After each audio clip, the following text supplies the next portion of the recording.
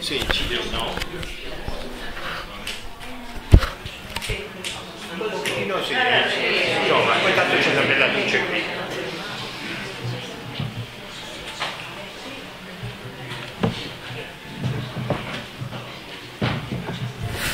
Allora, quando... Posso sedere? Sì.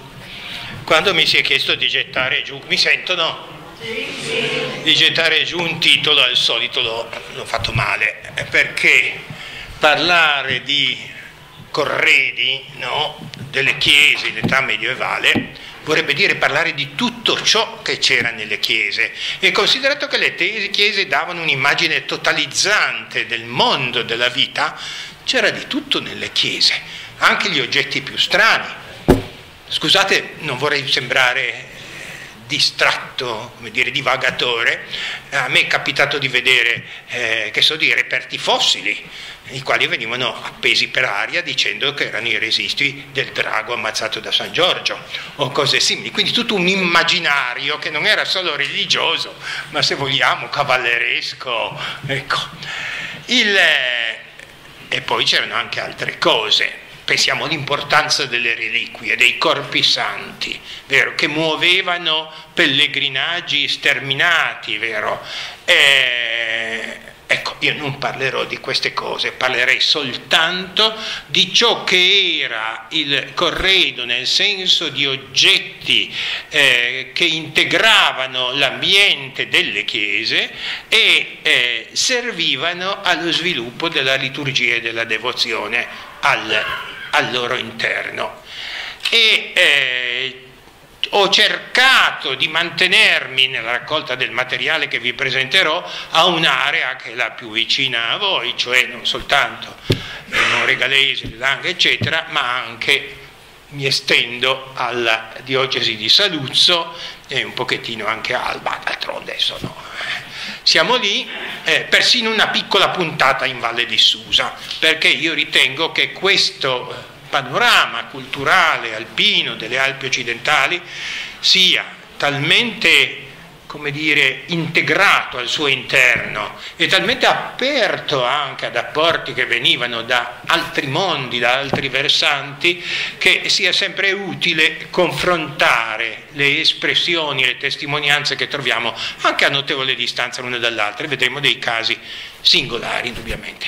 Io non posso fare un discorso esaustivo ovviamente, perché tra l'altro la vostra zona è una delle più ricche di patrimonio artistico. Pensate a tutti i cicli pittorici che ci sono che la rendono eccezionale proprio. E, eh, e ho una informazione un po' imparaticcia, nel senso che cioè sì, mi sono occupato di tante cose, ho avuto anche bisogno per il mio lavoro di tutore degli archivi, degli archivi locali, eccetera, di girare, quindi la geografia culturale del Piemonte mi è abbastanza presente. Però ho anche saccheggiato, ho saccheggiato pubblicazioni, ho ricavato le mie diapositive anche da queste pubblicazioni e quindi credo venia in partenza, se ci fosse mai l'autore di queste fotografie, di questo sfruttamento dell'opera dell'altrui ingegno. Vero?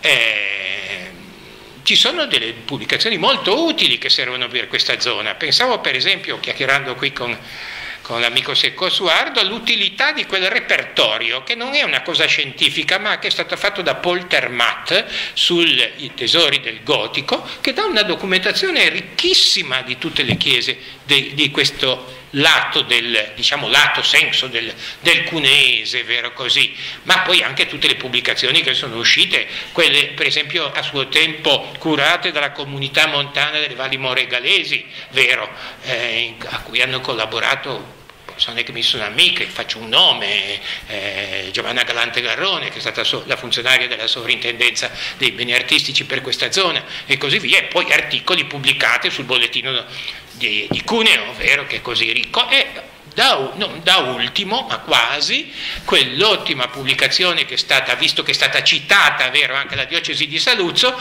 è stata curata dall'ufficio di, eh, dell'arte sacra della diocesi, vero, eh, Don Alamano e la dottoressa eh, Damiano, sul patrimonio artistico del territorio della diocesi di Saluzzo, che è stata una bella ricognizione a cui ho avuto il grande piacere di poter collaborare. E per questo anche ho rafforzato diciamo, i miei legami con questo, questo settore delle Alpi. Ricordiamo d'altra parte che il marchesato di Saluzzo si estendeva fino alle Langhe, avevo sentito parlare di Dogliani che era un feudo saluzzese, vero? Marsaglia era saluzzese e tu sei tiende in questo paesaggio, vero? Bon. Allora, io cercherei di riunire in questa mia chiacchierata real- delle realtà abbastanza diverse tra di loro, che possono essere delle chiese cattedrali, delle chiese monastiche, diciamo convenzionalmente abbaziali, e poi delle par- chiese parrocchiali o semplici cappelle. Vero, esistono dei eh, temi che sono ricorrenti, anche se però bisogna distinguere tra situazioni abbastanza diverse. Incominciamo col vedere la pianta di una cattedrale, una pianta fatta alla metà del Settecento a Saint-Jean de Maurienne. Voi mi dite perché proprio la Savoia, parte il fatto che la Savoia è solo dall'altra parte delle Alpi, vero? E poi eh, per chi si occupa di un settore che è delle Alpi centro-occidentali, vediamo che c'è un'assoluta continuità tra la Savoia ovviamente e la Valle d'Aosta e cosa c'è? No, no, niente, faccia pure, faccia pure. Abbiamo sbagliato. Cosa scruta? È scruto che... Voilà, non avevo mica capito che erano delle slide. Eccola qua. Ah, è meglio perché era in formato francobollo prima. No? Ecco. Ehm, Mural, ecco, questa, questa, bella pianta ci dà un'idea di come era organizzato l'interno di una chiesa importante, non soltanto di una cattedrale, ma poteva essere anche la chiesa di un ordine monastico o eh, degli ordini mendicanti. Vediamo che esiste un recinto, dunque prima di tutto ha un'abside molto profonda con l'altare laggiù in fondo, vero? Poi davanti alla zona absidale o di presbiterio vediamo un recinto in cui è disegnato in pianta il coro dei canonici, che vedete costituisce proprio un rettangolo chiuso anche verso la navata principale, o meglio, aperto soltanto da una porta da quel lato, di modo che coloro che erano addetti al servizio divino, vero, quindi alle ore canoniche, l'assistenza anche alle funzioni i canonici, potevano raccogliersi in un ambiente in due ordini di stalli, vedete, di diverse, diverse dignità, di diverse autorità all'interno della compagine canonicale e quindi assistere e recitare l'ufficio, vero, in certo qual modo dentro la protezione di uno spazio non disturbato dalla presenza degli altri fedeli, i quali altri fedeli potevano peraltro vedere il momento culminante della consacrazione, l'elevazione, per cui secondo la diciamo, la prassi dell'epoca quasi si faceva risiedere tutto il significato della messa, vero, anche se ovviamente è l'essenziale, però eh, il momento eucaristico era un po', eh, diciamo, eh, eclissato da questo. E vedevano questo momento attraverso la porta che si apriva verso la navata. Ci si dirà perché questa separazione? Ma eh, innanzitutto, come dico, per un bisogno di raccoglimento. Le chiese erano molto più praticate dalle, dalla, dai protagonisti della vita quotidiana, ci si commerciava in chiesa. Non, non, non in senso proprio eh, blasfemo, di profanazione, ma ricordo per esempio di aver visto che una volta che a Vercelli volevano ingaggiare un professore di, di diritto, mandano degli ommissari a Cremona a cercare un mobono di Cremona, non lo trovano e gli dicono bene, ti lasciamo il sacchetto delle monete qui su un altare, venite a prenderle perché ormai sei impegnato a venire a fare lezione da noi, vero? Quindi luogo di contrattazioni, vero? E anche di chiacchieramenti, pur parler, robe simili. Quindi e, e, e la gente era molto più disinvolta anche nella sua devozione, era irruente, vero? Quando aveva una motivazione forte, era capace di andare a ridosso di un altare. La preoccupazione che ho visto nei decreti sinodali ancora nel Seicento era questo di parare un pochettino l'eccessiva invedenza dei fedeli che in momenti andavano a sedersi sull'altare, insomma. E bene o male, cioè, insomma, la sensibilità era quella. Non solo, ma avere uno spazio così difeso, vero, foderato all'interno da questi stalli lignei che avvolgevano in qualche modo la persona, voleva dire avere anche una difesa dalle durezze del clima anche interno, mica erano riscaldate le cattedrali, vero, le chiese, vero, ci si moriva di freddo. Eh, e quindi tutto era, eh, come dire, mirato a creare delle condizioni per una presenza opportuna nel servizio appunto eh, ecclesiale. La, anche se i fedeli restavano un po' all'esterno ci si rivolgeva ad essi? Perché essendo chiusa, vedete la, il recinto del, dei canonici o degli ordini religiosi, da una specie di, di, ponte vero che si chiamava il Jubé, perché di lì veniva impartita la benedizione, Iube Domine benedicere se non sbaglio era la formula, no? Eccetera, di lì venivano anche fatte le letture magari in latino, quindi chi capiva, chi capiva, insomma, però era un luogo di dialogo tra i celebranti e il popolo eh, dei fedeli, vero? Poi c'era anche, naturalmente, vi erano anche dei pulpiti per la predicazione, che era estremamente impegnativa, le nostre prediche non erano mica di dieci minuti, erano, erano, eh, duravano una giornata. Bernardino da Siena predicava sul campo di Siena, tanta gente c'era e li intratteneva per, per una mezza giornata. Ecco come facessero poi con la voce dovevano avere dei polmoni formidabili questi predicatori. Ad ogni buon conto, eh, vi faccio vedere alcuni di questi complessi. Voi direte perché la pigliamo così da lontano? Ho detto proprio per via di questa omogeneità e continuità tra le espressioni di queste tradizioni, vero, anche strutturali, vero, delle chiese. Adesso per andare avanti Mo cosa faccio? Vado, con il, vado col clicchetto. Ecco, vediamo qui il coro della cattedrale di Susa, il quale non era nato per essere stipato malamente come avvenne nel 6-700 nell'abside, ma era precisamente dentro questo recinto rettangolare di fronte all'altar maggiore. Tra l'altro uno dei cori più antichi che conserviamo, perché è stato costruito verso il 1330 quando viene tutta ristrutturata quel lato di, della, della cattedrale che allora non era cattedrale ma era abbazia di San Giusto, importantissima, uno dei, degli alti luoghi vero, del monachesimo sotto la tutela sabauda. Vero. E eh, vedete laggiù in fondo c'è una, un seggio distinto, guardate adesso questi miserandi cenci che sono stati messi lì dentro nell'Ottocento e, e, che non si è ancora avuto il coraggio di strappare, anche perché dietro chissà cosa c'è, è un restauro coi fiocchi, pensate una cosa del 1330, eh, si vede il seggio del, dell'abate, di fronte al quale simmetricamente vedremo c'è quello del priore claustrale, le due autorità quindi della comunità monastica, e un baldacchino sul quale non posso dilungarmi sugli aspetti iconografici perché sarebbe un'enciclopedia, vero? uno speculum vero? Eh, della, della, di tutto l'immaginario medievale, c'è una caccia simbolica, una serie di animali dentro medaglioni che si inseguono, da una parte c'è un cacciatore, e che i cacciatori non godevano di buona stampa, intendiamoci, perché eh, ricordo tutti i teologi, vero, eh, 1100-1200, dicono che i cacciatori sono crudeli e applicano le crudeltà in ogni rapporto, quindi poco votati al paradiso come i soldati d'altra parte. I, quelli che si salvano sono i contadini che sono abituati a subire e a lavorare. Questo lo dice Ilario di Ottone.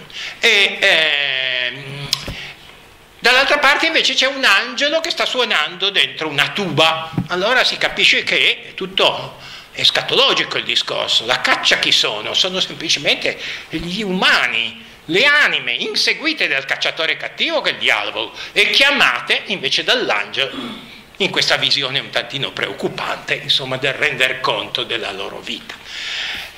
Andiamo avanti, vediamo, ecco di lato il, il seggio priorale, è pieno di simbologie lì dentro, non mi, non mi trattengo, avevo collaborato a un volume insieme con altri studiosi che è uscito dalla, dalla Fondazione Cassa di Risparmio di Torino che si chiamava La fede ai mostri, non perché la fede generi mostri, ma perché la simbologia medievale è piena di questi animali fantastici con significati. E questo è il lato opposto con invece ricostruito. La piramide autentica, il seggio, il, lo stallo del priore claustrale.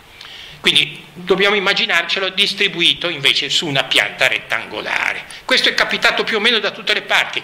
Con il coro dell'abbazia della Novalesa, Addirittura è capitato di peggio, essendo stata soppressa l'abbazia, anzi priorato ormai della Novalesa, nel 1821 il parroco di Bardonecchia, Andorie, pieno di buona volontà, si raccolse i cocci di questo coro e li ricostruì almeno peggio nella parrocchiale di Bardonecchia, distribuendo ciò che anche in quel caso, e la, lì la zona è proprio chiarissimamente riconoscibile, ciò che era disposto su una pianta rettangolare, a semicerchio nell'abside della chiesa ricostruita. Qui è interessante il tema, lo accenno appena, perché vedete che nella parte, eh, nel eh, baldacchino si rincorrono dei medaglioni in cui si alternano apostoli e profeti. Gli apostoli con un versetto del credo e i profeti con un versetto biblico che corrisponde in certo qual modo, secondo anche la interpretazione medievale, il richiamo tra i due testamenti, vero, al contenuto dei singoli enunciati della fede. Eh, questo si inseriva nella tradizione che voleva il simbolo apostolico composto dai singoli eh, apostoli, vero? Eh, il, qui vedono come è stato conciato questo, questo eh, chi lo dice, lo racconta, vero? questo parroco nel 1823 dice avec une petite connaissance, eh, cioè alla diavola, alla buona, così a benevola abbiamo ricomposto queste cose e un po' hanno segato, un po' hanno sacrificato, un po' hanno combinato insieme l'hanno conservato perché tanto nessuno se ne sarebbe occupato, sarebbe marcito nella sua abbazia abbandonata.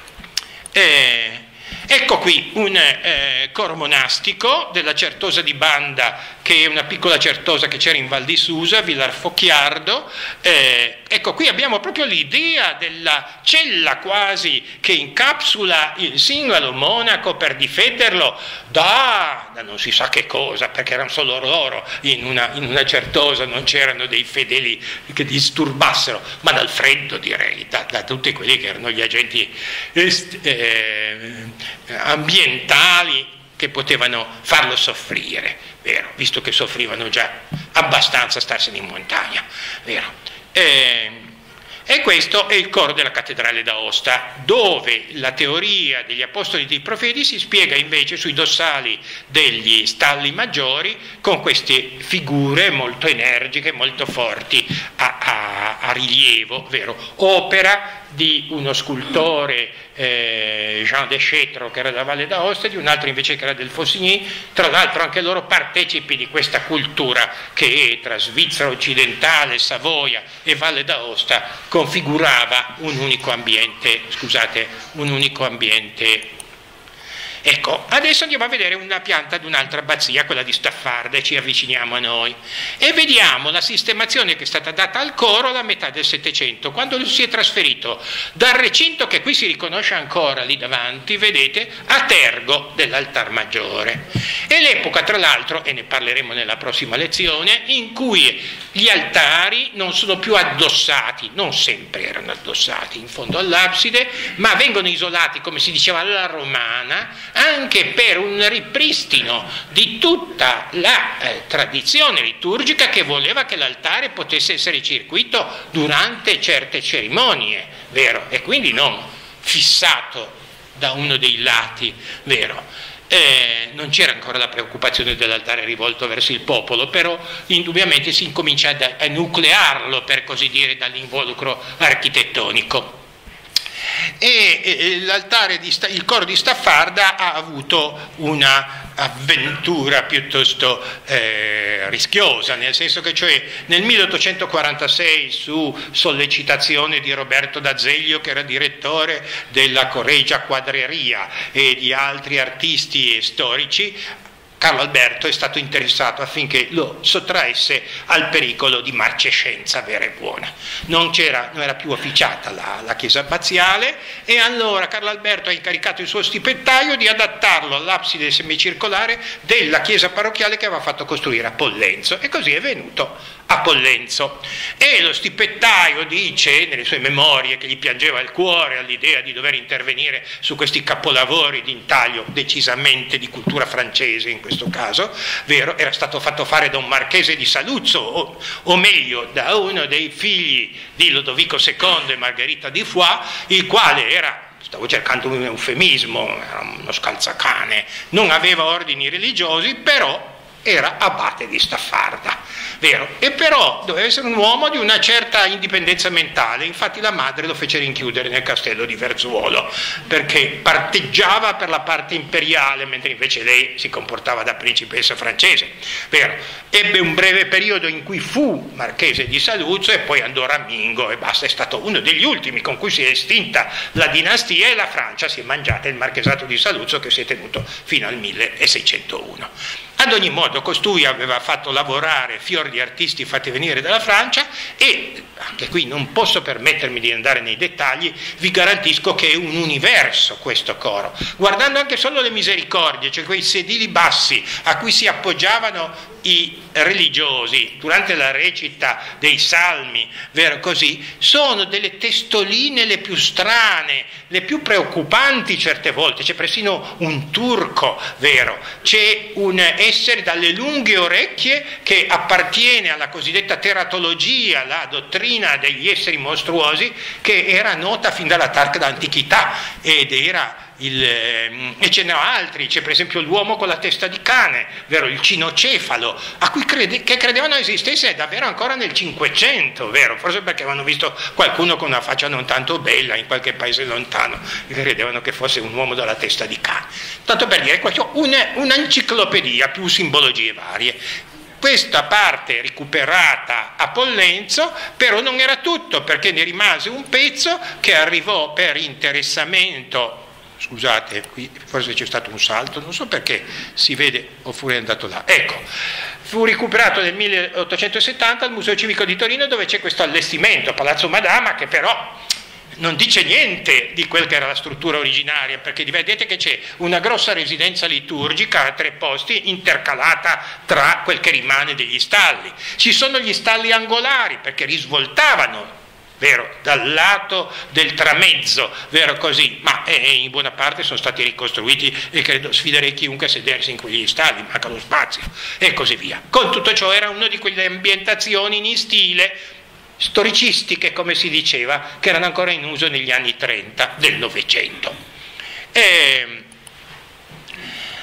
Qui passiamo invece a una cappella privata, che era la cappella del castello di Revello, che apparteneva direttamente ai marchesi di Saluzzo. E ancora nel 1833 Delfino Muletti eh, che, era, che, era, fratello dello storico del marchesato di Saluzzo, vero, la disegna in questa illustrazione del, che va a finire poi nella relazione dell'intendente Andi sulla eh, quella magnifica relazione sulla provincia di Saluzzo. Vediamo che l'ambiente è fasciato da questi stalli che non erano ovviamente riservati ai religiosi, ma soltanto ai dignitari della corte che quando assistevano all'ufficio divino in questa cappella.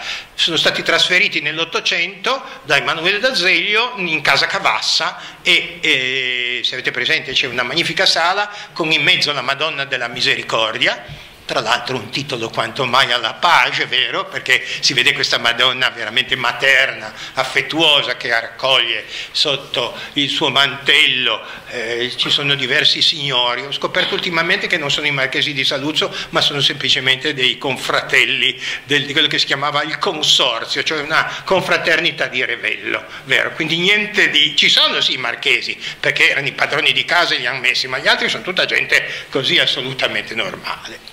Andiamo avanti. Eh, Vediamo un altro coro più vicino a voi, a Benevagenna. Abbiamo nella chiesa di San Francesco, che non è quella originaria per cui questo coro venne eseguito, che si trovava fuori mura e come tante chiese estramurali venne distrutta nel Cinquecento all'epoca degli assedi, vero? questo coro che reca le insegne di due personaggi importanti. Una è la Paola Gambara, che si nomina Beata Paola Gambara, se non sbaglio la padrona di casa, e l'altro era suo marito, che era il Costa della Trinità. È uno strano arredo, perché vedete che questo ha conservato tra l'altro il suo impianto rettangolare, ma è stato per così dire rovesciato, anziché, vedete la, la famosa porta di cui parlavo, laggiù in fondo che veniva aperta al momento dell'elevazione e credo anche della comunione, se no i fedeli non avvicinavano il celebrante, però. Eh, e, e eh, ha conservato la sua struttura che è stata semplicemente rovesciata ed ha una parte scolpita, questi sostegni che sostengono i baldacchini, che è singolare. Perché? La presenza degli stemmi dei due coniugi ci consente di datarlo verso il 1520.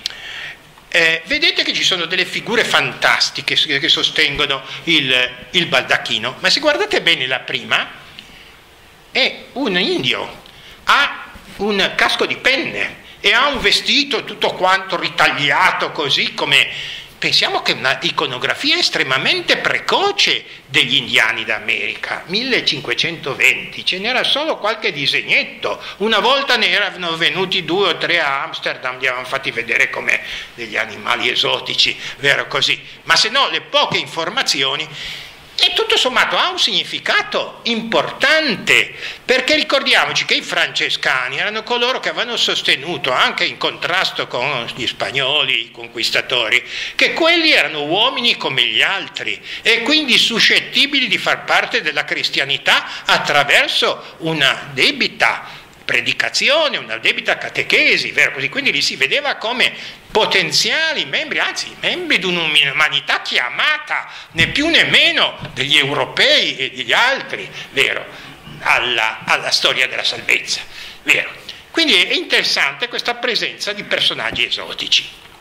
E qui ci siamo avvicinati, dunque Chiesa non più come nei casi precedenti di un ordine monastico, ma di un ordine vero, di un ordine eh, mendicante.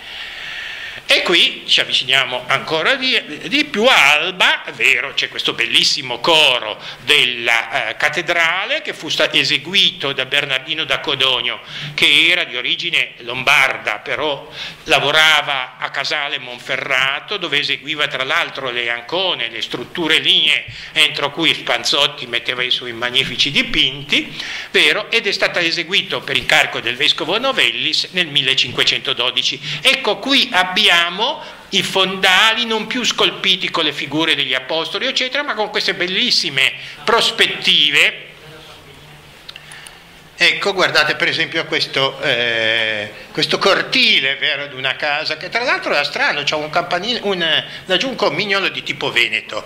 E questo signore era, era di Codogno, non era eh, che so, del, del, appunto della Valle Padana orientale, si vede che era più diffuso questa tipologia di cammino. E, e vedete che qui siamo per Tempio 1512, vengono applicati i dettami della prospettiva come erano stati teorizzati da Piero della Francesca con una sapienza enorme, poi usando legni di diversi diverso colore perché è un intarsio. E ancora concludiamo questa carrellata sui cori con quello della cattedrale di Mondovì che sembra viene, venga dalla Certosa di Casotto, sì, qui di nuovo ritorniamo ai personaggi scolpiti, agli apostoli vero nei dossali, ma direi che hanno una potenza, una, un'energia plastica che fa sentire il rinascimento in atto, anzi addirittura già il momento del manierismo, del rinascimento maturo, in quanto è databile verso la fine del Cinquecento. Ma qui con questo episodio usciamo in certo qual modo dal limite cronologico che per questa volta ci siamo fissati perché siamo già nell'età del eh, post-tridentina. Però è un coro rinascimentale in piena regola per cui dobbiamo immaginare una disposizione come quella che abbiamo detto per gli altri cori monastici. E adesso siamo andati a spasso per ora solo fino al coro ma c'era davanti uno spazio. Cosa c'è in questo spazio? La mia chiacchierata segue la distribuzione, diciamo, di questi oggetti e di queste immagini in quello che era lo scenario di una chiesa, quale che fosse. Sopra il tramezzo che, div- che chiudeva anteriormente il coro e che vediamo non era un luogo neutro perché di lì venivano impartite le benedizioni e venivano fatte le letture vero, della messa, c'erano normalmente delle figure. Una era un grandissimo crocifisso, che non era mai pezzolante come lo vediamo adesso, per esempio nel Duomo di Saluzzo, era sopra la chiusura anteriore del tramezzo e sovente era affiancato dalla, dalle figure della Madonna e San Giovanni Evangelista dolenti, quindi era, componeva quello che si dice un calvario, come è rimasto a Staffarda, dove non c'è più il coro, è stato addossato a una parete, abbiamo queste sculture strane, allungate, nordiche, vero, di eh, maestranza francese. E, e abbiamo conservato ancora molti crocifissi tardo medievali, vero, in questa, in questa zona che ha una caratteristica anche dal punto di vista della cultura artistica. Vedete per esempio questo bel crocifisso che c'è nella parrocchiale di Dronero, che sicuramente era è di grandi dimensioni, è stato trasformato in un oggetto di devozione sull'altare del crocifisso, in realtà era anche lui attaccato sopra, certe volte laddove non c'era il tramezzo era sul trave che attraversava l'arco trionfale e che i francesi chiamano la poutre de gloire, il, il trave glorioso, anche lì con i, eh, ai lati la Madonna e Giovanni dolenti, quindi in certo qual modo una sacra rappresentazione che attualizzava il mistero del Golgota. E sempre a Dronero abbiamo, ah dunque questo, quindi le langhe, Saliceto, questo crocifisso che vedete è di una stessa scuola, di una stessa tipologia, tipologia che ritroviamo anche sul versante della Liguria occidentale. Ci sono degli scultori proprio con caratteristiche assolutamente identiche, vero? Non sappiamo se una scuola, una bottega oppure diversi maestri che hanno lavorato a cavaliere delle Alpi Marittime, vero? Tra Imperia e la provincia di Cuneo. Eh, dico provincia di Cuneo che è una realtà tardiva, ma insomma dovremmo dire queste aree vero? Sempre a Dronero sono finite nella, nella, confraternita, ma sono troppo grandi per essere state, anche se molto bella la, la, chiesa del Gonfalone, ma è tarda e settecentesca, queste due statue, quella di sinistra è del 600, ma quella di destra, San Giovanni, con quest'aria appassionata, vedete, è di uno di questi scultori che ci ha lasciato delle opere importanti a Ponte d'Assio, a Pornassio, in posti così. Un suo compianto è addirittura finito nel Museo di Palazzo Venezia a Roma, ma è ligure, ecco di questi maestri liguri piemontesi, li chiamiamo liguri piemontesi perché non sappiamo esattamente la loro base dove fosse, ma che certo venivano chiamati per questi lavori. Invece a Revello, nella cappella marchionale, ma anche qui non dovevano essere nella cappella marchionale, ma probabilmente nella parrocchiale, abbiamo queste due statue che sono state fotografate invertite perché dovevano guardarsi a vicenda della Madonna e Giovanni, qui raccolte nel loro dolore, ma non certamente impassibili, capaci di coinvolgere il fedele dire, affettivamente nel mistero della morte di Cristo. Sempre in quest'area a cui si affacciavano queste figure c'erano altri oggetti, tra l'altro i fotti battesimali, che soltanto nel corso del Seicento, in base a direttive che venivano grosso modo pur sempre da Carlo Borromeo del suo trattato de, eh, sulla suppellettile dell'architettura e suppellettile ecclesiastica, venivano spostati i eh, fonti battesimali a lato dell'ingresso, mentre invece nel Medioevo potevano essere in mezzo alla navata anche, secondo una tradizione antichissima tra l'altro. E quindi abbiamo tutto una, un bel campionario nella, nella, vostra zona, pensate per esempio a quella famiglia di scultori in pietra, un po' rustici, gli zabreri, che lavorarono per le valli del marchesato di Saluzzo, e questo è datato 1432 a Martignana Po, ma non sembra riconducibile a quella zona. Poi, sempre in questo spazio, visto che lì c'erano i fedeli e che lì doveva svolgersi la predicazione, c'erano i pulpiti. E di pulpiti medievali io conosco soltanto questo che è rimasto a Staffarda, che è della stessa maestranza che ha fatto il coro. Vedete ancora gotico, con queste, eh, peccato che qui sia molto buio, non si veda bene, ha questi pannelli con delle specie di finestroni intagliati. Ma superiamo il tramezzo ed entriamo nell'area del culto, del culto liturgico, vero? Dove era conservato il Santissimo? Non era certamente in mezzo all'altare, come ci ha abituato poi invece la prassi successiva al Concilio di Trento col culto eucaristico. Era di solito conservato in depositi laterali a pareti a parete. Vero, se ne vedono di grandiosi le chiese francesi, ho citato Saint-Jean-de-Maurienne, uno che sembra una torre quasi, da noi sono più semplici, però vedete ce ne sono, per esempio a Verzuolo, vicino a Saluzzo, questo qui che è datato 1473 è ancora gotico, vero? A Lagnasco, sempre in quella zona, anch'esso gotico. Poi c'è scritto sopra Olea Sancta, perché quando c'è solo la loro funzione di tabernacoli e vengono impiantati dei tabernacoli centrali in mezzo agli altari, vengono usati di solito per contenere o reliquie oppure l'olio santo. Un altro, vero, a Priero, di un maestro che è stato individuato come presente anche sul versante savonese, vedete che nel timpano lassù c'è la figura di Gesù che esce dal sepolcro mostrando le mani piagate, è quella che si chiamava il Cristo Passo nel Veneto o Imago Pietatis, il Cristo che cioè è ancora diciamo nel, di là dal limite tra la vita e la morte, vero? E però si rivolge al fedele come se fosse, volesse compendiare in un messaggio, in un colloquio che, ripeto, avviene da oltre la morte, tutto il suo sacrificio ed, ed ostenta le sue piaghe. Vero? E l'origine è un'icona, tra l'altro bizantino, il Basileus Tesdoxes, vero? Che, che, che era venuta in Europa, aveva avuto il suo successo se vogliamo un'immagine metastorica che non corrisponde a un momento, sì, potremmo dire il momento in cui Cristo è nel sepolcro, però è un morto che parla, che si rivolge al fedele. E ancora questo rinascimentale di Villanova Mondovì che ha la data 1547. Ecco, dove stavano gli altari? Abbiamo detto che nel, a datare dal 1200 circa non sono più isolati, ma vengono di solito addossati o come abbiamo visto nelle piante di quelle cattedrali, piuttosto in fondo alle absidi, ma non proprio aderenti alla parete, ma soprattutto nelle chiese parrocchiali e nelle cappelle vengono decisamente attaccati alla parete di fondo. Vedete per esempio qui a Celle Macra che c'è una piccola risega proprio nella decorazione pittorica per cui è evidente che l'altare che qui ha conservato il suo prospetto medievale, vedete con una finta decorazione come se fosse un tessuto e sopra il trigramma di Gesù, quello diffuso dalla predicazione di Bernardino da Siena, che fu anche in Piemonte tra l'altro. E, eh, e, quindi anche se probabilmente la mensa è un tantino rustica, non credo che usassero una lastra, una losa così, eccetera, ma sicuramente si inseriva nella parete ci sono però altri casi in cui la cosa è più problematica.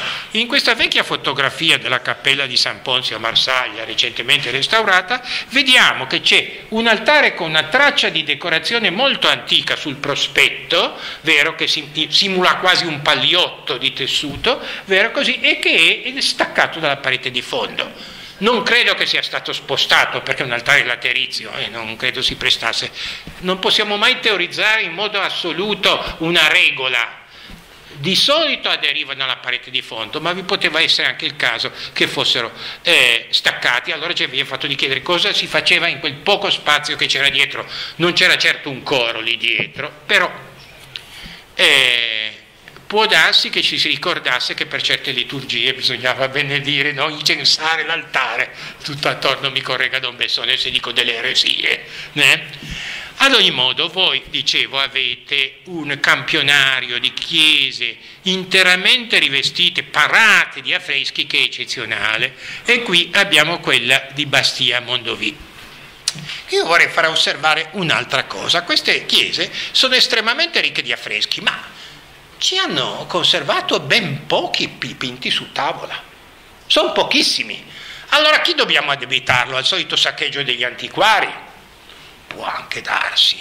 C'è una zona grigia nella storia della conservazione del nostro patrimonio artistico che è l'Ottocento, in cui, congiurando le soppressioni napoleoniche delle sedi delle congregazioni religiose e un distacco, diciamo pure, dalla tradizione, per cui non dicevano più nulla queste cose, se non alla consuetudine pia, devota, vero, di qualcuno che andava a pregare davanti a queste immagini. Queste cose furono sacrificate. Io non vorrei fare una tirata di difesa per i preti che si dice che vendono. Se i preti vengono è perché i fedeli sono conniventi e consenzienti. Cioè il senso della permanenza di un messaggio religioso figurativo è venuto cadendo. Sarà stato il laicismo dell'Ottocento, sarà stato anche, se vediamo, il gusto già. Perché pensate, scusatemi se salto di palo in franca, mi sono dovuto occupare della cattedrale di Reims, no? Delle più importanti di Francia, in cui veniva consacrato il re di Francia. Non c'è più niente dentro c'è soltanto un altare fatto da un artista piemontese, il Ladat, fatto nel Settecento. Ma perché? Un ricchissimo canonico che possedeva le vigne della Champagne lì vicino ha pensato bene di investire i suoi soldi nel far fuori tutto ciò che era rimasto di medievali all'interno della cattedrale. Non ha gettato via fortunatamente le statue famose delle, vero, dei portali e di quelle cose lì. Perché? Perché lui era un convinto assertore del gusto neoclassico. Per lui questo era tutta pacottiglia, non serviva più a niente. La visione del culto che si aveva era estremamente severa, razionalistica. Quindi c'è anche a monte, scusatemi se ho avuto divagare e cercare di spiegarmi il fatto che ci sia stato un impoverimento del patrimonio artistico. Altrove è rimasto di più perché ce n'era di più, che so a Firenze o a Venezia. Ma da noi può darsi che ci siano state queste operazioni di scarto e non cito casi particolari che pure ci sono.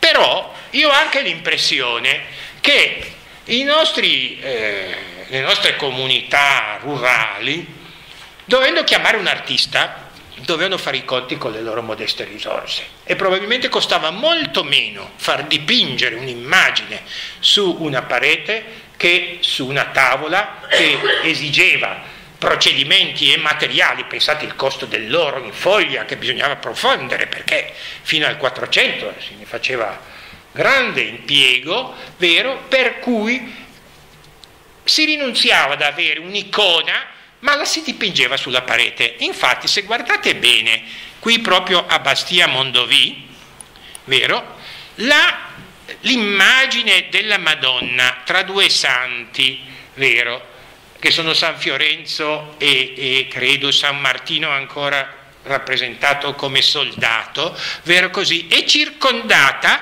da una specie di fregio che la stacca dal resto della parete come se fosse un quadro appoggiato lì. Ma andiamo a vederne un'altra. Per esempio, nella cappella di San Bernulfo, qui a Mondovia, abbiamo addirittura una parete che è organizzata come un politico, vero?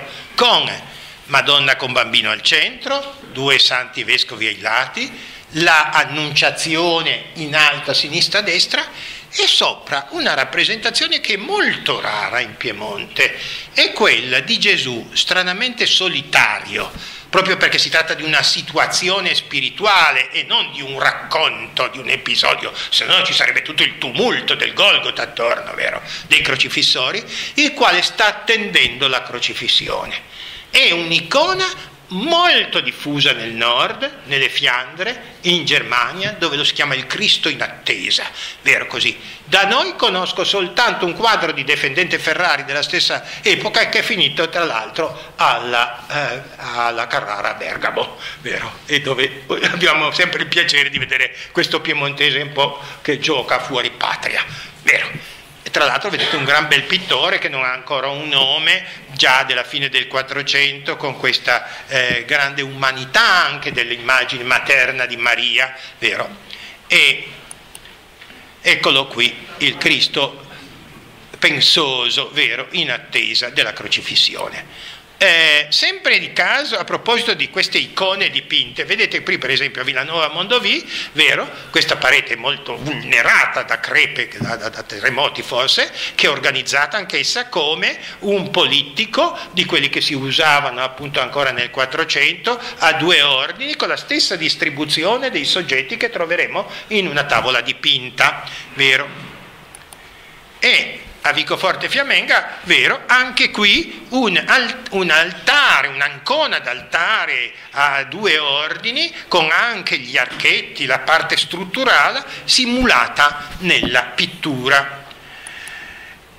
Ancora in questo caso, qui non ricordo più quale sia, sì, in qualche cappella, mi sono dimenticato di mettermi la, la didascalia, per cui non lo ricordo, anche questa organizzata, vedete, come un altare, un trittico, vero? Eh, ancora, qui non c'è addirittura Cosniella Tanaro mi pare sia questo, no? Eh, vedete il riquadro centrale isolato da quelli ai lati che pure hanno dei soggetti abbastanza vistosi. A destra abbiamo San Paolo Eremita e Sant'Antonio, vero, Abate e San Paolo Eremita che stanno dialogando tra di loro quando il corvo gli porta il pane, allora fraternemente prendono questo pane, lo strappano in due e lo dividono tra di loro. A sinistra invece abbiamo Gesù come ecce homo tra San Rocco e un altro santo che non ricordo più chi sia. Vero. Anche qui la tavola centrale simulata come se fosse un dipinto.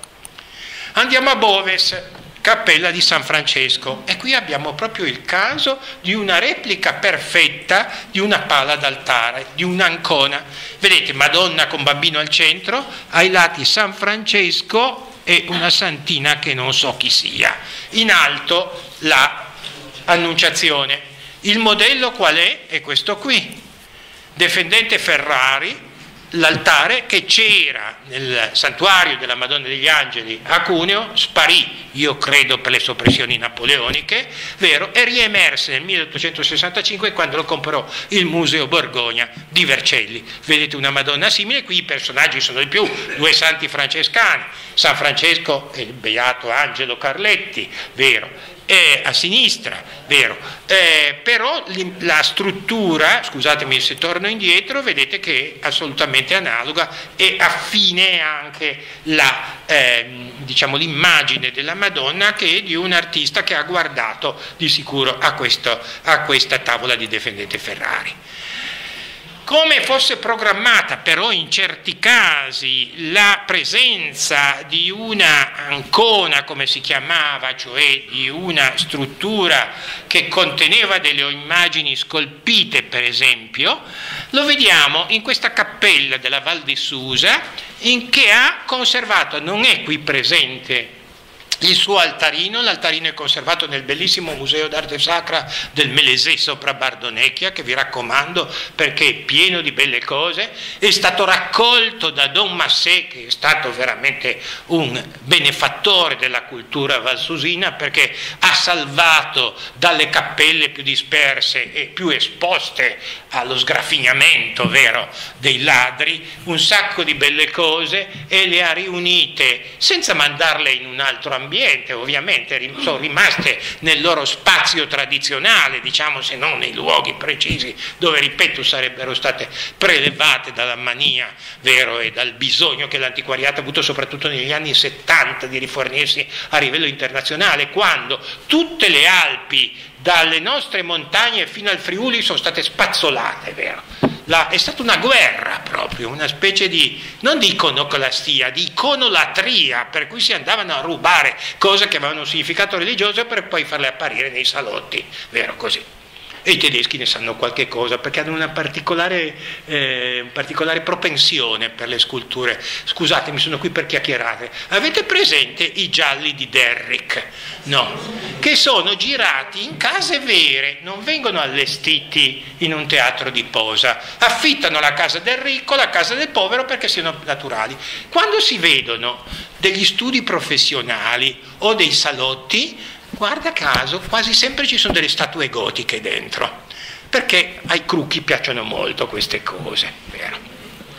Morale, qui, tornando a bomba, abbiamo un'area, vedete, che è contrassegnata da un grande cardo, vero così, che è semplicemente il punto della parete a cui si appoggiava l'altarino, che è conservato. Mi spiace che non ho una fotografia, è un altare con degli sportelli che si chiudono e all'interno una statua della Madonna la pittura è datata 1496 e fa vedere come tra l'altro i culti girassero per le Alpi. Vedete che qui all'estrema destra c'è un vescovo che ha in testa la testa di San Giovanni, in grembo la testa di San Giovanni Battista e San Grato di Aosta.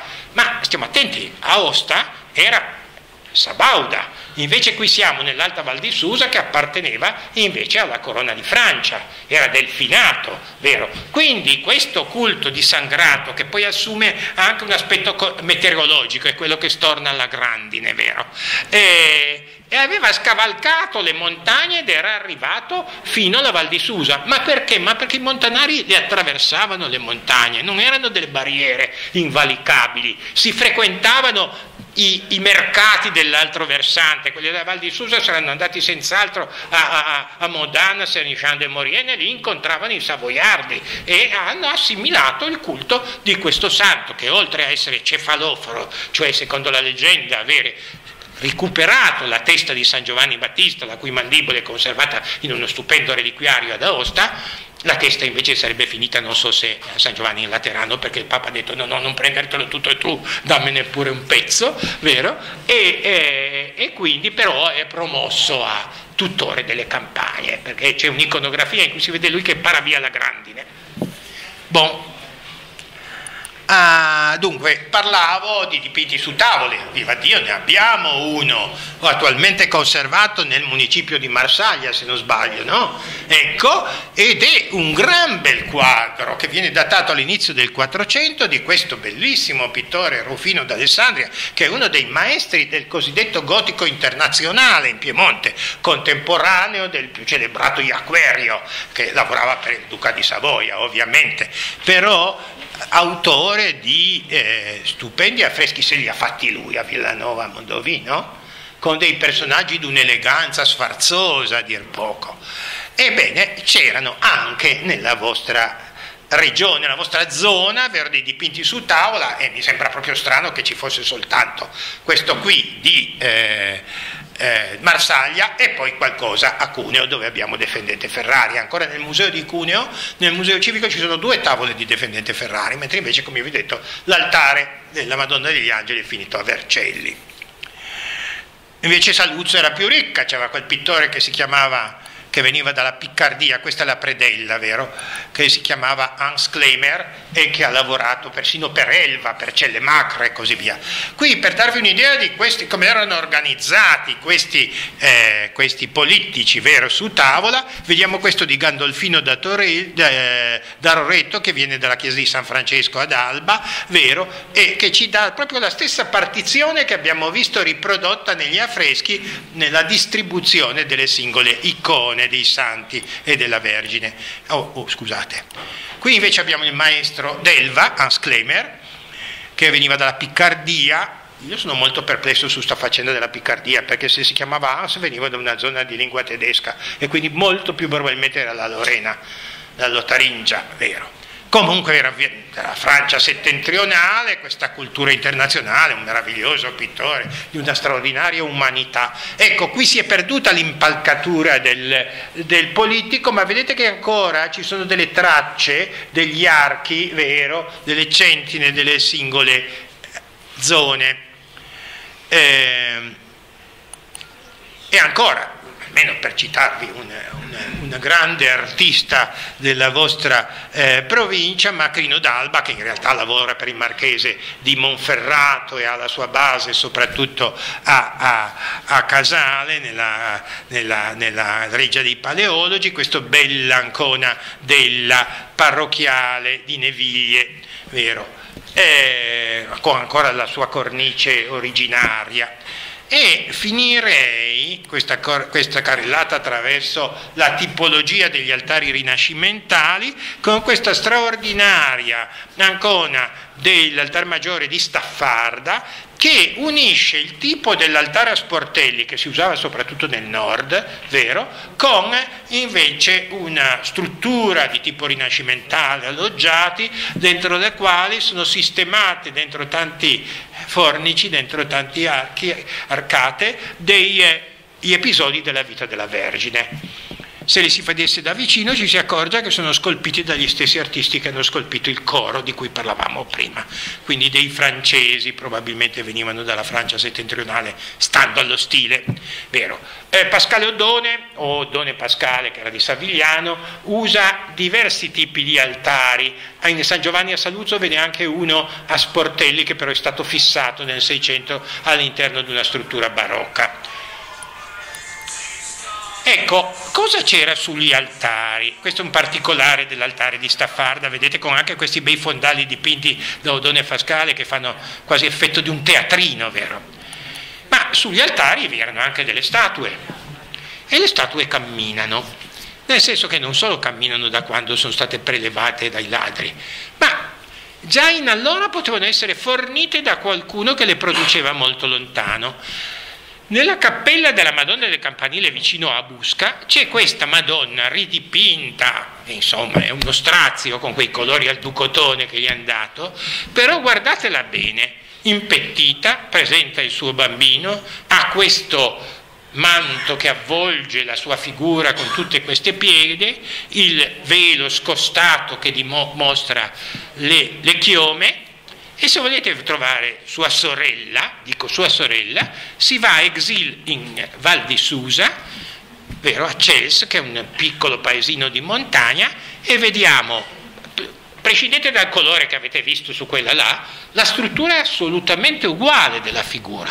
Allora cosa ci fa? Una cosa fatta da uno scultore presumibilmente della Valle di Susa nel Saluzzese, si dà il piccolo particolare che la prepostura di Ulx, che aveva poteri quasi vescovili sull'alta valle di Susa e scendeva con la sua giurisdizione spirituale fino, a, fino quasi a Susa, dove pure aveva una chiesa, Santa Maria Maggiore, dipendente dalla prepostura, aveva anche tutta una serie di chiese dipendenti nel, Mar- nel Saluzzese, perché i marchesi di Saluzzo, anche nella collina di Saluzzo, anche nella zona di Revello, eccetera, avevano loro dato a questa, a questa grande fondazione canonicale, vero, che si vede che aveva ancora una, una grande forza, una grande presenza, vero, eh, anche dal punto di vista pastorale, vero, in, in epoca in cui non c'erano gran chiare le idee su cosa, quali fossero i compiti, vero, delle, delle diocesi, delle, dei vescovi e quelli invece di queste fondazioni, vero, erano canonici regolari, tra l'altro.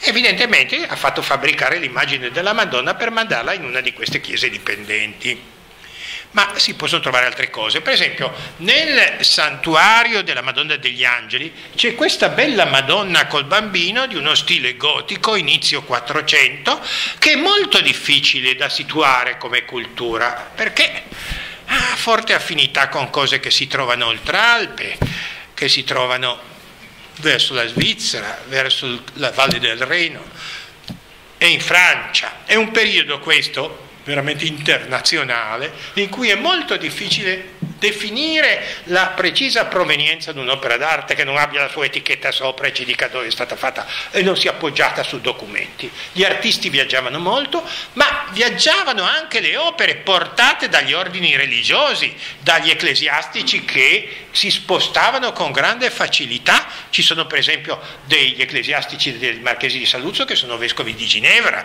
o di Losanna, vero? Quindi c'era una circolazione che di fronte a un'idea, per così dire, paralitica del Medioevo, come di un tempo in cui si, si faceva o i prepotenti, vero, o i succubi, i contadini o i signori, vero? In realtà c'era tutto un ceto, i mercanti, i religiosi e così via, gli ecclesiastici, i funzionari, pensate anche a questi stati a cavallo delle Alpi, come era lo Stato Sabaudo, per esempio, qui c'era uno scambio tra i due versanti, potevano portare con sé anche l'occasione di attingere la produzione di botteghe abbastanza forestiere. La Valle di Susa ha delle cose tedesche e non è propriamente confinante con la Germania, vero? Eh, concludiamo questa scorsa alle presenze forestiere con questa magnifica pietà che si trova a Ceva e nera nel santuario della Guardia, che siccome si trova su una parete piuttosto pericolante, rocciosa, pericolante, però, ha, ha dovuto cedere la sua immagine al Duomo, come lo si chiama, di Nostra Signora Assunta. È una bellissima pietà tra l'altro l'iconografia della pietà non è poi tanto diffusa, da noi incomincia a ritrovarsi nel corso del 400 e viene da nord. Viene da nord nell'area Friuli, Venezia Giulia, in cui ci sono moltissime pietà di scuola di Salisburgo o di lassù, vero? Anche nella zona di Verona, tra l'altro fatte da artisti vaganti, in certi casi erano addirittura fatte a stampo dentro con una specie di, di stucco forte di cemento dentro degli fin nelle marche le si trova. Sono quelle che i tedeschi chiamano Vesperbild, l'immagine del vespro, cioè del momento della deposizione in cui il Cristo viene staccato dalla croce ed è posto nelle, innanzitutto in grembo alla madre. E tra l'altro e anche in Francia si diffonde Qui siamo invece in presenza di un'opera fiamminga, sicuramente paragonabile con sculture analoghe della zona di Tournai, vero? E perché a Ceva? Fosse, ce n'è un'altra vicino a Chieri, ma non ce lo spieghiamo perché è a Borgo Cornalese che era feudo della famiglia Villa. Questi Villa di Chieri del 400 erano rappresentanti addirittura dei mercanti piemontesi alla corte del duca di Borgogna e avevano banco perché praticavano il prestito su pegno specie di usurai, vero, a, a Groninga, a, a, a Tournai, eccetera, eccetera e Chieri era una specie di, dire, di grande galleria di opere fiamminghe. La chiesa di San Domenico, dove i Villa avevano la loro cappella, aveva un Van der Weyden che eh, la famiglia ha ceduto nel Novecento ed è stato espatriato nel 1930 è finito alla collezione Abex di Zurigo, un quadro, un altare spettacoloso, avevano un altare scolpito che si trova adesso al museo di Bruxelles, museo reale del museo eh, dei padri reali di Bruxelles, e Invece i Pensa di Marsaglia, tanto per parlare di vostri consterranei che erano tra i più grandi mercanti di Lione, si erano provveduti sempre a Bruxelles uno spettacoloso altare con la vita della Madonna scolpito e dipinto, e scolpito voleva dire intagliato e con una policromia prodigiosa, più ricca di quella di una tavola pittorica, che si trova a Bruxelles nel museo del della città di Bruxelles, perché i mercanti fiamminghi hanno, sono stati all'occhio e quando le famiglie piemontesi vendevano alla fine dell'8 inizio del 9 sono venuti a comprarseli. Vero? Adesso il Piemonte potrebbe vantare a fronte di altre, di altre aree italiane questa ricchezza di patrimonio artistico che viene, verrebbe dai Paesi Bassi ma c'era un altro luogo dove arrivavano cose fiamminghe ed era Genova e qui siamo sulla strada della Liguria, a Ceva.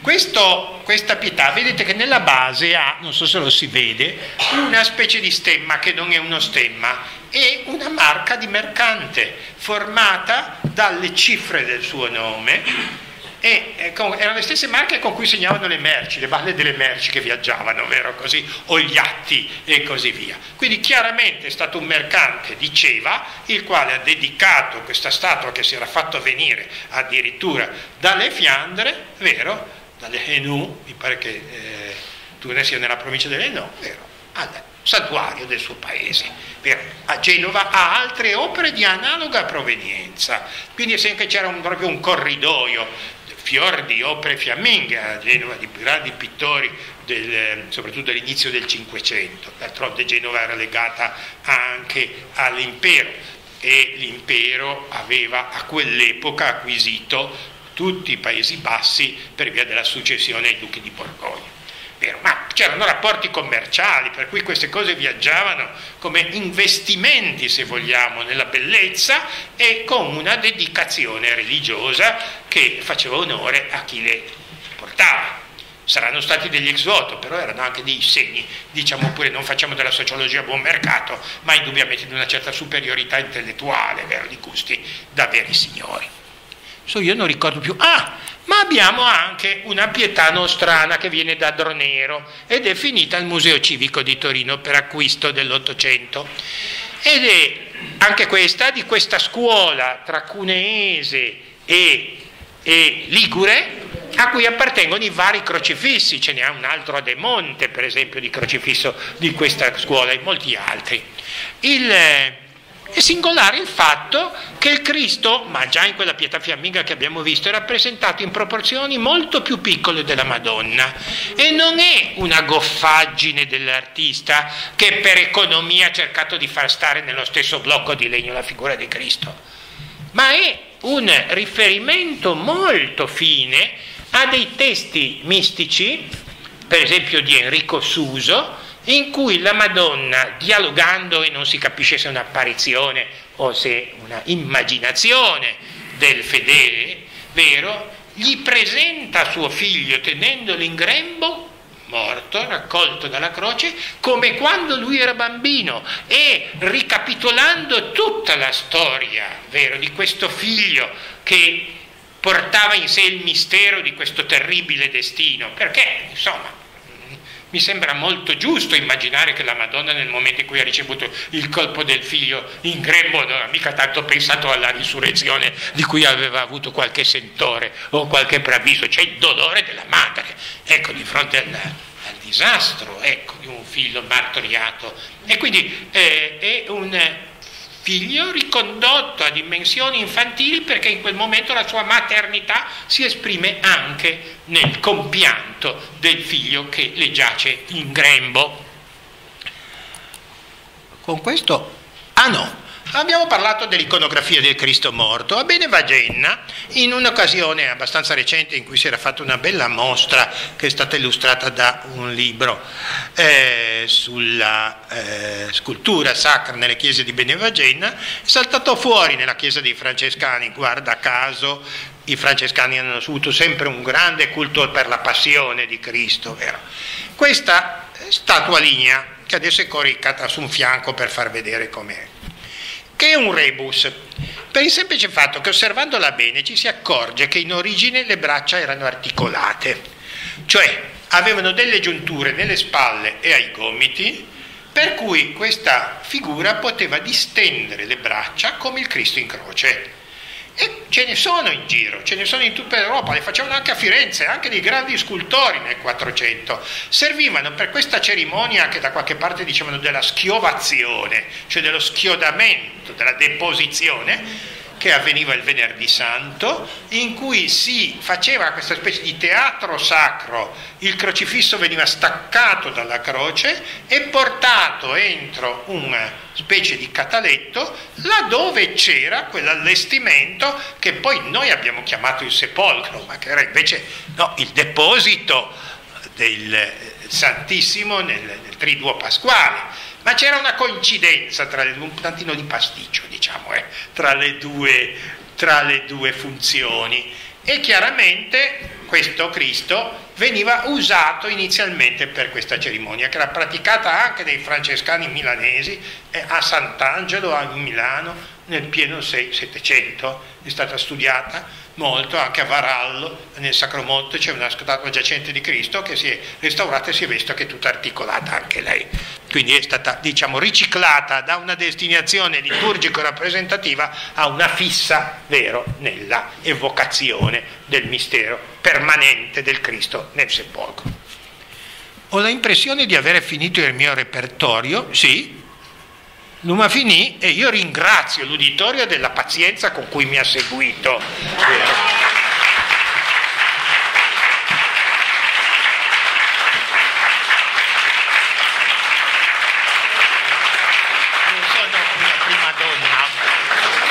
Solo la pazienza, ma devo aggiungere l'evidente partecipazione, perché mi ha fatto felice indubbiamente vedere questo segno di attenzione, vero? Per cui faccio i complimenti, non per avere fatto a me questo piacere, ma perché evidentemente siete portatori di una passione per queste cose che d'altra parte ho già percepito mentre parlavate della vostra organizzazione e del vostro volontariato, che vi fa onore. Fosse così in tutta Italia, in tutto il mondo, non abbiamo più problemi di tutela dei beni culturali eh?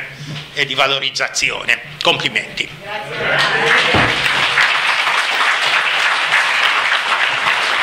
Allora, eh, ringraziamo il professor Gentile, eh, penso che eh, lo immaginavo, è stata una lezione fantastica, cioè, poche volte abbiamo potuto ascoltare una, una disamina del genere. In più eh, per telefono mi aveva detto, eh, ma forse me l'ha tenuto nascosto apposta, mi aveva detto che faceva vedere delle immagini lontane, sa, mi perdoni, cioè, ci ha fatto vedere tutta roba vicino a noi, che conosciamo e che facciamo e tutto. Quindi io direi che io l'ho trovato stupendo. Eh, il, prossimo, il, prossimo, sabato concluderemo questo discorso sugli eh, arredi nell'epoca post-tridentina, quindi dopo il Concilio di Trento. Ehm, c'è qualcheduno che vuole fare qualche domanda, vuole eh, non so, approfondire qualcosa? Penso che il professore lo, fa... lo, lasciamo, lo lasciamo tranquillo seduto, io mi avvicino, se c'è qualcuno che... Capisco che dato io campionario di oggetti molto vari e qualcuno mi potrà rimproverare anche di non aver messo tante cose. Ecco, questa passata attraverso le vostre cappelle è stata assolutamente inadeguata, insomma. Voleva essere solo una serie di assaggi, ecco,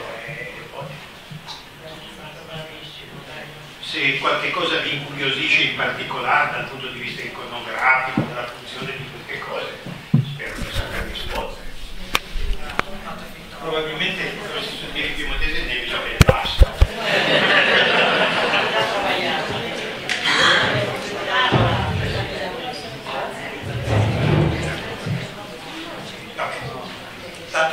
Modo di vederci anche sabato prossimo, dobbiamo ancora prepararli. Ecco so cosa riesco a mettere insieme, ma anche lì cercherei di scorazzare attraverso anche altre zone, vero? Eh, come dico, mi sono occupato della Val di Susa, mi sono occupato molto della Valsesia, poi direte troppo lontano. No, i valsesiani lavoravano fino in Valle d'Aosta e forse qualcuno arrivava in Valle di Susa, quindi erano degli specializzati, come anche i luganesi. No? Pensate per esempio a Saluzzo in San Giovanni c'è un altare piramidale magnifico, di quelli fatti proprio come, come dire, un castello, una torre di Babele, che in realtà è una esaltazione del crocifisso, del tabernacolo, del culto eucaristico, vero?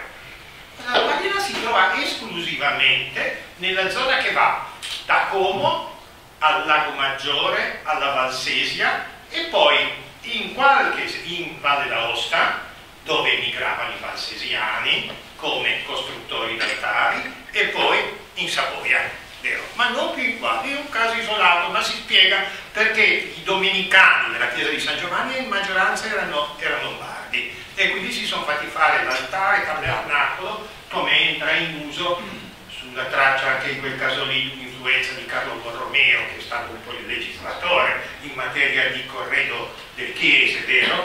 e, e, quindi è facile che sia stato fatto eseguire da, da maestranze che venivano di là. Ecco, ma poi il fenomeno della migrazione degli artisti, pensate agli stuccatori, vero? I beltramelli che lavorano anche qui in questa zona erano luganesi, vero?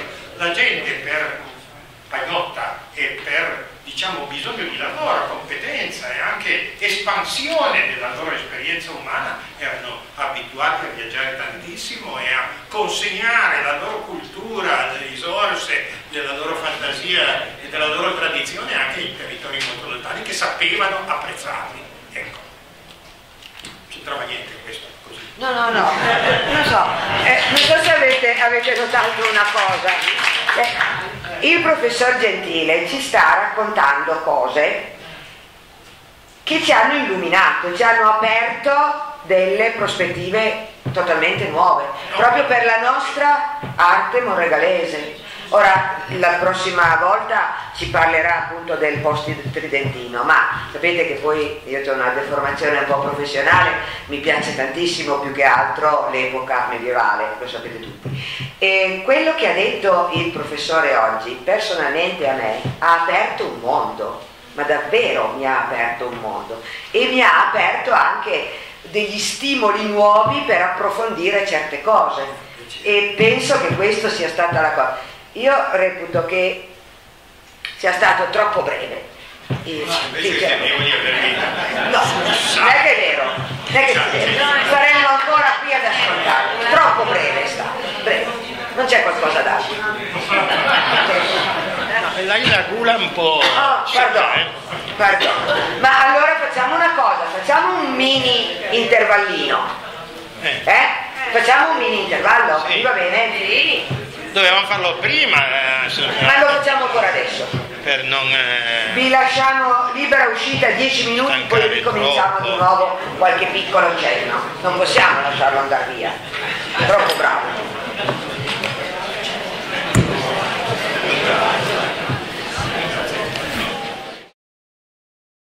nel delfinato e hanno avuto una diffusione enorme con migliaia di adepti in tutta Europa e tenevano queste, questi ospedali in cui curavano soprattutto le malattie di carattere eh, tipo la, la- la- la pellagra, la lepra, eccetera, malattie della pelle in sostanza. Essenzialmente le curavano con degli unguenti che erano fatti col grasso di porcellini, per cui i porcelli di Sant'Antonio potevano razzolare dove volevano e in Toscana era una razza speciale che aveva come una striscia scura, come una cintura, vero, attraverso la pancia. E questa iconografia di cinta. da notarsi che Sant'Antonio nasce come nasce, vive come un eremita della Tebaide, quindi le espressioni del monachesimo più antico, era così. E poi attraverso una strana metamorfosi, una trasmissione non tutta facile da capire, arriva in Europa e diventa, come dire, il signore del fuoco di Sant'Antonio.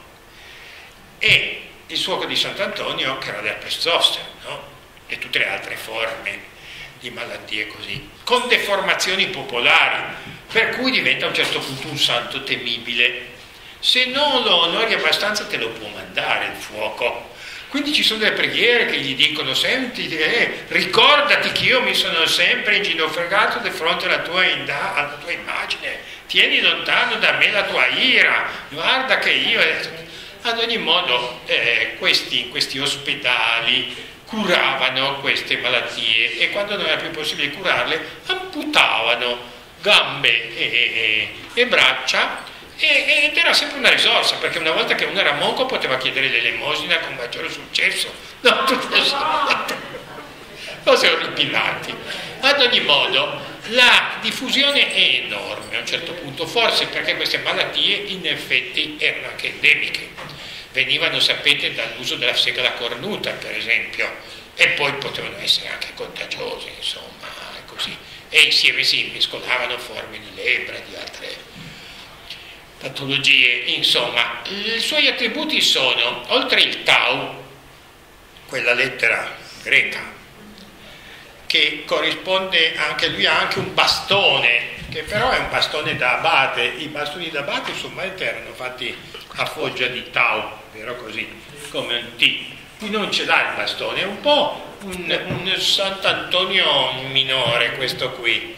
Al campanellino, perché la leggenda dice che si aggirava tra gli anacoreti, i- i- i, appunto gli eremiti che vivevano in queste eh, capanne vero, nel deserto e li richiamava con il campanellino alle preghiere, eccetera, è l'attributo del porcellino. E la statua che c'è a Sant'Antonio di Ramverso c'ha il suo porcellino. Ha una faccia terribile quel Sant'Antonio, ma non per insipienza dello scultore, perché Di fronte a queste statue di Sant'Antonio ce n'era una per ogni, ognuna di queste case, coloro che entravano non soltanto come monaci, ma anche come ricoverati permanenti, perché ormai i poveracci potevano vivere solo lì, dovevano giurare di rispettare degli statuti, delle regole di comportamento. Quindi questo terribile maestro, come dire, sovrintendeva queste cerimonie e doveva incutere appunto rispetto e soprattutto l'osservanza di queste regole. Però la, la, la, la diffusione del della sua venerazione è universale in Europa, anche al di fuori dell'azione di questo ordine religioso, ovvero, e come dico, vi sono anche queste preghiere nei repertori di preghiere francesi, che fanno vedere come fosse popolare il suo culto. Eh. Poi a un certo punto si è specializzato nella protezione degli animali, che è un altro passaggio stranissimo perché nell'iconografia di Sant'Antonio c'è un episodio della sua vita in cui lui viene assalito da dei demoni sotto forma di mostre, con lo bastone, gliene fa di tutti i colori. E allora questa frequentazione, per così dire, attraverso le tentazioni dei mostri, dei demoni, queste ossessioni diaboliche, eccetera, così, fa sì che diventi poi uno una specie di domatore, no? di uno che ha a che fare con gli animali. E anche la l'allevamento dei porcelli per ricavarne appunto il grasso da servire per gli unguenti fa sì che diventi un po' il protettore di tanti animali da cortile. Vero? E nell'iconografia popolare, e nelle stampe, nelle cromolitografie che si attaccavano nelle stalle, lo si vede circondato da galline, oche, mucche, asini e tutto quanto. Ecco è un santino che diventa a un certo punto meno temibile e più, meno redoutable, come dicevano i francesi, e più eh, confidenziale. Ecco. E guardate un po' bene se non salta fuori il porcellino da qualche parte, sarebbe no, interessante. Anche quello che si trova la roba aperta, San Antonio in Fede Treve, così e già. Sant'Antoni, dunque. Vabbè, così e così. Ma quello lì certe volte è anche Sant'Antonio da Padova, eh? eh, è trovatore. Non è l'abate, eh? Non è l'abate. È l'Antonio da Padova. Non so eh? perché questo sì. grande predicatore francescano sia diventato il trovaroba. Sì. No, eh, ma sono quei culti così, nel Veneto c'è una devozione enorme per Sant'Antonio. Posso confermare che nella chiesa maronita, sì? quando si vuole trovare qualche cosa, si prega Bar Antona ma qual è? È quello là. Eh certo, è quello là. E non è quello da Padova. È quello da Padova, Vedete la migrazione delle specializzazioni, eh? Ah, interessante questa faccenda, quindi è orientale la faccenda. Ma gli attributi dei santi camminano in giro per il mondo in modo strano si, si prestano uno con l'altro. Eh? Sì. Volevo chiedere una cosa, perché vedo che eh, il professore è molto, mo- no, no, ma mi sentite, no? Ma sì, ormai un po'. Eh, è molto ferrato anche, giustamente, nell'iconografia, nell'iconografia, dei santi. E volevo chiedere, mh, mm, Esistono poi dei santi, dei gruppi di santi più, eh, a cui sono più devoti certe categorie di persone, di, di, di, mm. del ceti sociali, no? del, del, Medioevo, roba del genere. Per esempio, i eh, santi eh, a cui più di tutto ehm, dedicavano le loro preghiere il ceto aristocratico, perché c'è un gruppo di santi che, di cui sono... Giorgio, pensi, San Michele anche per esempio sì. Sant'Uberto, Santa Caterina d'Alessandria o no? Ma sì, Santa Caterina perché la fanno come la principessa. Infatti, ecco. Ecco, poi gli andiamo nella pura leggenda. Sì. Ecco, ma Uberto, che prima è Eustachio o cose sì. simili, è un soldato, è un... Poi vediamo anche i marchesi di Saluzzo cosa fanno, prendono questo Chiaffredo, di incerta origine, ecco. si sospetta che fosse un eremita in origine, lo ascrivono alla tradizione dei santi guerrieri che poi viene ancora rimaneggiata dal Meiranesio, questo storico, questo fantasioso delle tradizioni religiose, eccetera. Ad ogni modo il, eh, anche loro si, hanno Costanzo e Chiaffredo, che sono due santi cavalieri. La corona d'Inghilterra c'è San Giorgio. Allora cosa fa il re di Francia, visto che non può fare un ordine di San Giorgio, lo fa di San Michele, quindi ancora più su. Ecco, pur sempre un santo, in questo caso un arcangelo guerriero, vero? E quello senz'altro. Poi ce ne sono anche altri, ho visto in giro, di, di, di, di santi molto venerati degli ordini, però sono di solito i santi cavalieri. Cavalieri. Ecco. San Giorgio è venerato molto più al sud, noi in Italia che al nord. Mm? Chiese dedicate a San Giorgio, ne trovi molte più al sud, chiese dedicate a San Giorgio che al nord. Ma ce ne sono un po' da tutte le parti, sono sicuro. Allora, San Giorgio è di origine orientale. Ah, c'è? Altro che? Nasce a vita di tutta la Chiesa della Chiesa ortodossa, viaggia con Giorgio. Certo. Eh, E chi è quel santo orientale che ha chiesto a Dio la grazia di diventare brutto e gli ha dato una testa di cane? Non so, c'è questo, eh, questo santo cinocefalo che fa parte dell'iconografia anche orientale, abbastanza raro, eh, perché era un po' troppo. Ecco, era un po' troppo. Ma allora, però, questa cosa qua mi, fa- mi sta facendo venire in mente chi era Anubi. Ah vabbè, se ne si risale... No, ma per dire, per dire eh, arriviamo a dire, e però siamo sempre nell'Oriente, Ma sa- tutto arriva da Però lì. è un po' difficile che i cristiani copti o che mutuassero delle divinità egizie e gli dessero quasi un significato cristiano. Per quanto la via delle, delle leggende è sterminata, insomma, tutto può capitare. Si è detto anche fin troppo, c'è chi ha, ha detto che le Madonne More vengono da Iside, insomma. Ah, beh, no, beh, quella no. Ah, un po' troppe, Sì. però l'hanno detto abbastanza per tempo quello, già nel Settecento, ecco. Ma Eh, perché ci sono, ecco, le Madonne nere? Ah, ci abbiamo Qual è il fatto sopra un bel convegno Eh. qualche anno fa a Europa, Eh? dove tra l'altro la Madonna originalmente non era considerata come Madonna me- mora. E solo nel 600 che cominciano a prestare attenzione. Ci vuole il microfono. Bravo. Va bene così, sì. E solo nel dunque le Madonne more, vero? Intendiamoci, eh, l'attenzione per qualche icona scura di pelle è abbastanza precoce.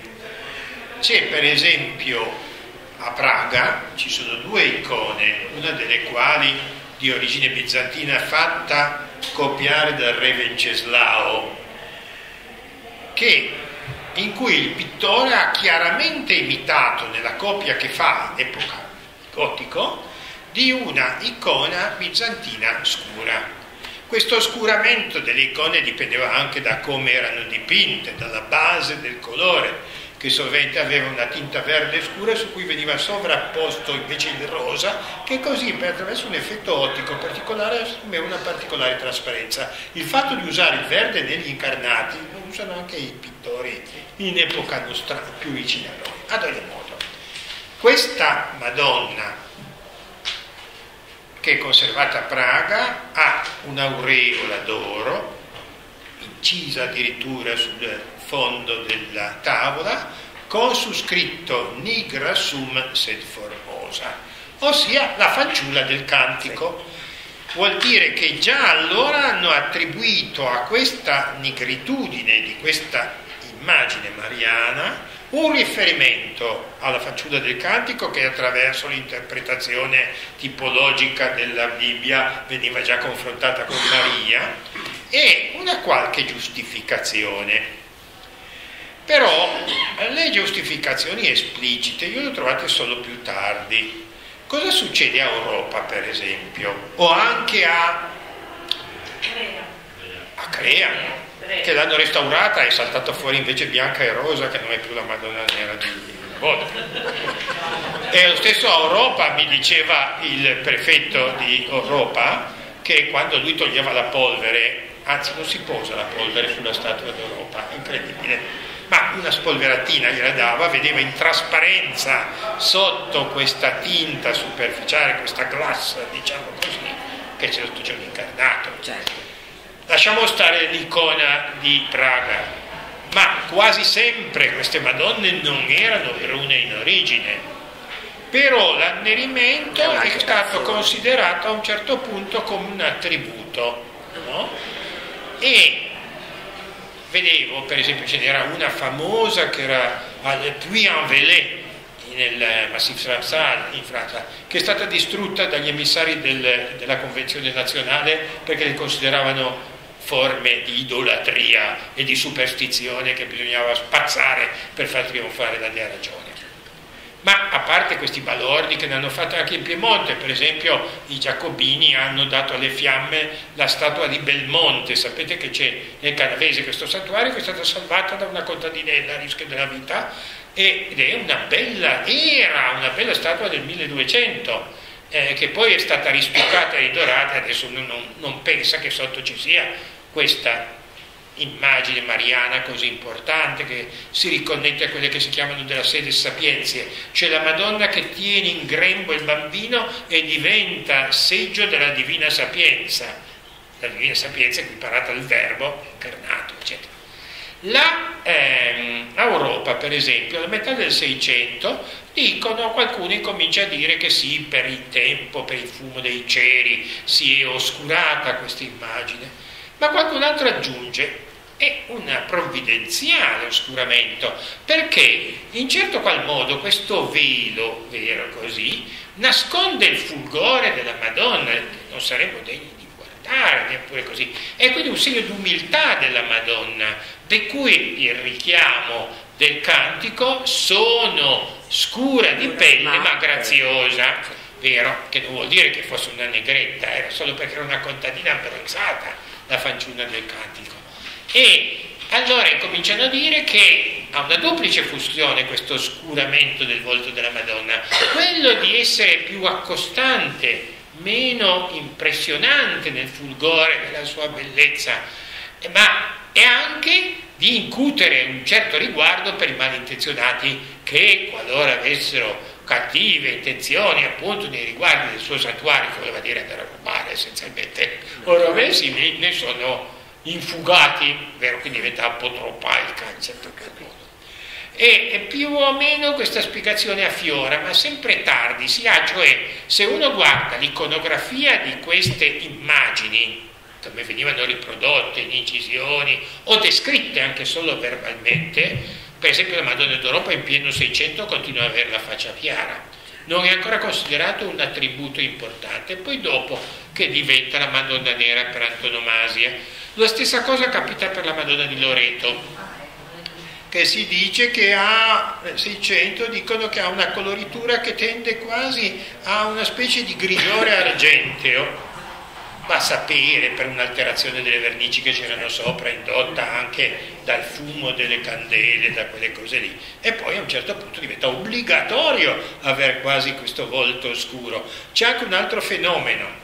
Eh, nel 1400, ma anche prima, dal 1200 in poi, a Roma avevano molte icone molto venerate della Vergine, Santa Maria del Popolo e altre, la Madonna Sistina, eccetera e a un certo punto, a forza di riprodurle, danno loro questo attributo, attributo del volto oscuro, che era proprio semplicemente dovuto alla, eh, sporcizia che si era certo. depositata su queste immagini. Ecco.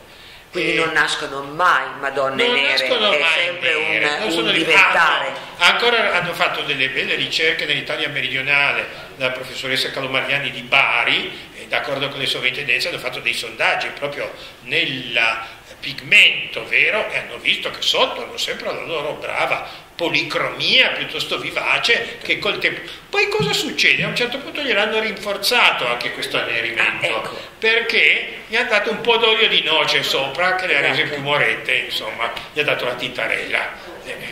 Ma nessuna nasce mai come nera, no. se non quella dell'icona di Praga. Ma che è intenzionalmente copiata da un'icona sì. antica e, e, le viene attribuito, attribuito questo attributo della mm, nerezza, della negritudine, con quel riferimento biblico che fa già capire che si dà già un significato spirituale. Sì di umiltà, di, di, di, di eh, proprio di nascondimento quasi, ecco.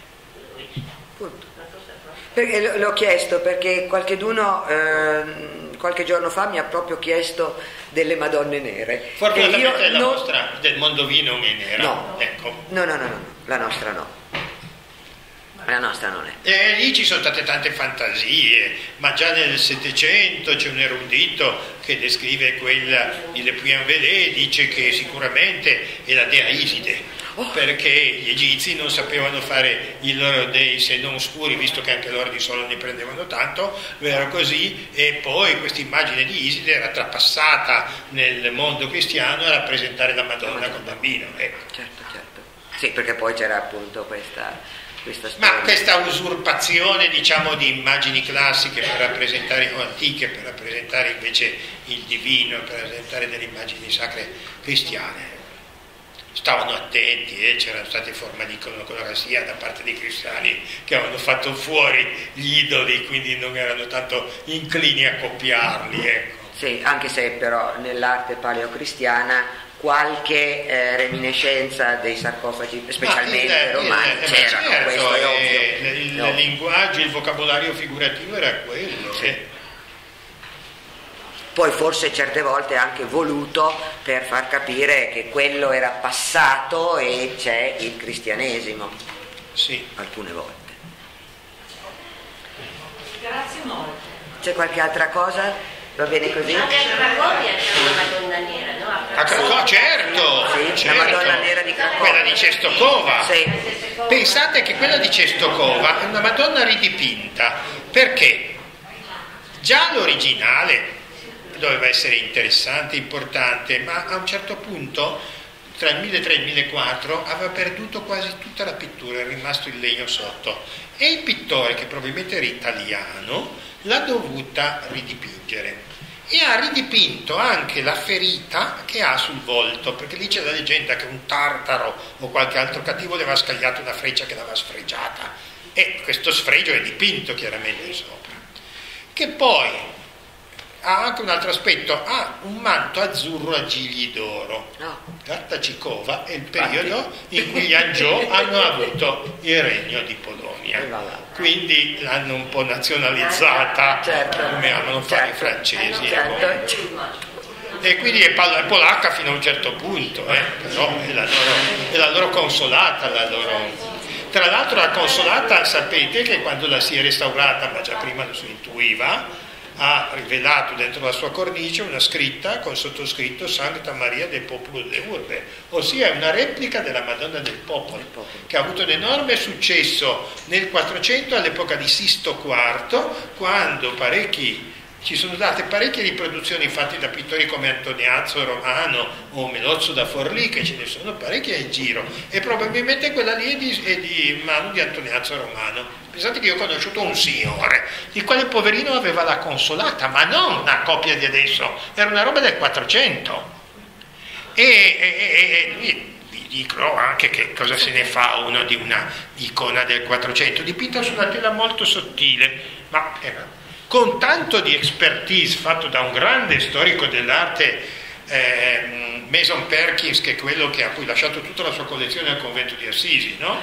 che dice, ho visto la sua, nel 40, eh, la sua Madonna sicuramente di Antoniazzo Romano, mi, mi affretto a restituirla perché come cittadino inglese tutto quello che ho mi sarà requisito. È già 40. Ecco. Nel 40. E, e- e- e allora questo signore aveva questa, questa diciamo, perizia di un grande storico dell'arte, l'ho aiutato a pubblicarla su studi piemontesi. La professoressa Griseri gli aveva fatto un bel articolo, gli avevo passato io gli elementi. Ad ogni modo, lui sperava, nessuno gliel'ha chiesta, nessun museo si è fatto avanti. O cosa vuoi che si compri una Madonna in più? Ecco. Ah, Allora se la conserva ancora a casa signore. come? Eh, ce l'hanno gli eredi che oltretutto se guardate la Madonna della Consolata è molto bella, eh, ha una sua classicità perché è stata reinterpretata da questo pittore che grosso modo era un seguace di Piero della Francesca e le ha dato questa maestà e al tempo stesso questa grande umanità materna, insomma così. E, e poi ci sono state tutte le riproduzioni, l'hanno anche un po' troppo dolcificata come immagine, ma eh, ha questa sua dignità quattrocentesca, ecco. Comunque è un'icona anche lei. E posso raccontarvi questo, che una volta che due colleghe che Gian Maria ha conosciuto, una russa e una bulgara sono venute a Torino, sono andate alla consolata e si prostravano davanti alla consolata perché tutte quelle luci, quegli ori luccicanti gli ricordava le loro Le loro- chiese le loro. e poi soprattutto l'icona di Maria, ecco. L'unico Beia sta Marco Venezia. Eh già, E sicura che quella. Perché Angelo e anche, è, anche, anche ella è di Venezia, è proprio un veneziano. Eh, eh, eh, sì. Era degli zingari a Saint-Marie de la anche là. Eh già, Sì. eh già. E quella di, di eh, Montserrat che si chiama la Moreneta, no? La Moreneta, che vuol dire la negretta, ecco. E sono tutte diventate scure col tempo. Col tempo, perché ma- Mica le si restaurava allora, non eh. sono nate nere. Certo. Eh. Basta quello. Ma anche le alterazioni comunque dei pigmenti, E poi i eh. pigmenti, questa preparazione verde che c'era sotto certe icone, per cui questo, nei dettami dei monaci del Monte Ato, mi pare, c'è questo di, di fare una base verde, poi stendere sopra delle usce di bianco, di rosa, velature così che poi diventano particolari. Sopravvaleva Sparisce, ecco, no. Ma il eh, verde era poi eh, fatto con il, con il rame, eh. Certo. eh, e so quindi se scurisce poi. un gioco di colori complementari, il verde più rosa. Comunque viene un rosa, un rosa, un rosa come perlaceo Sì, proprio, sì, sì. opalescente, bello, ecco. Bene. Grazie ancora a tutti. Allora, appuntamento a sabato prossimo di nuovo con il professore e facciamo un salto, il post tridentino. Grazie ancora a tutti.